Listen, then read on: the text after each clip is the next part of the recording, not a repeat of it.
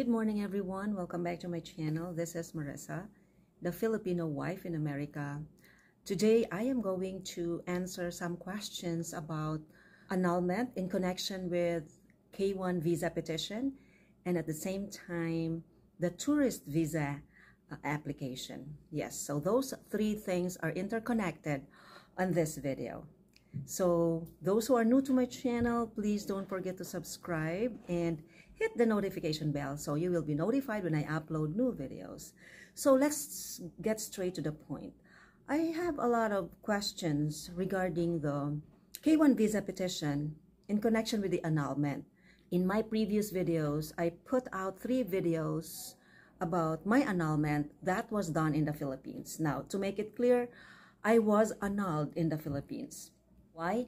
Because I could not come here if I wasn't annulled in the Philippines. Why again? I had to establish that I was already single before the petition began. In connection with that, the question is, can my boyfriend file a petition for K1 even if my annulment is going on? Even if my annulment is on process? The answer is definitely not. Why? K1 means fiancé. Before you become a fiancé, legally, you should be single. You cannot be a fiancé if you are not single. That's why, even if the annulment is on process, you are not yet single. You are not sure if the annulment is going to be approved or not. But one thing is sure, you are not single. You are married. So, no K1 visa petition should be done because that is not going to prosper. I hope I answered the question. In connection with that, if my boyfriend cannot file a petition for me as K1, can he file a tourist visa petition? Because I am waiting for my annulment.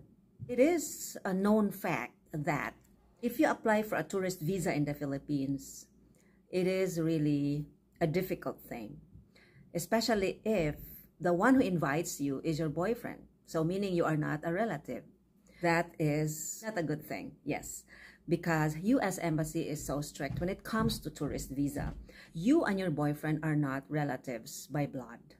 So therefore, a piece of advice for you, I won't do it because it's a waste of money and time. Just wait for your annulment paper to be released and to be final so that you can go directly to uh, a K1 visa petition.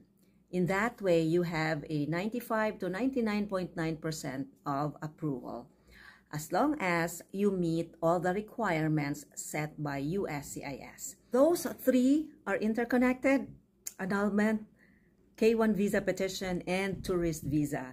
I hope I answered your questions. I answered all your questions.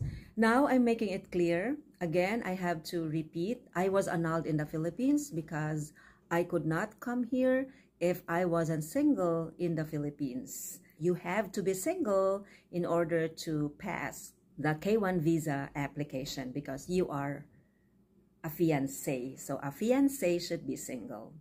Then, while annulment is going on, you are not yet single. So therefore, you have to wait until the result of the annulment is already final and executory, and plus you have the paper from the PSA stating that the marriage you had was already annulled and dissolved. So by virtue of the annulment in the Philippines.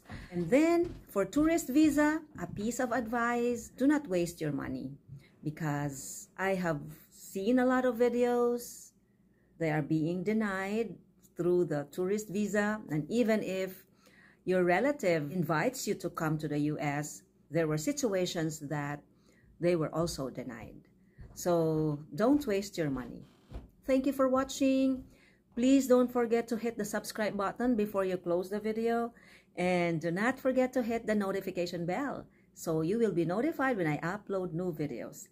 Thank you. See you on my next video. Thank you.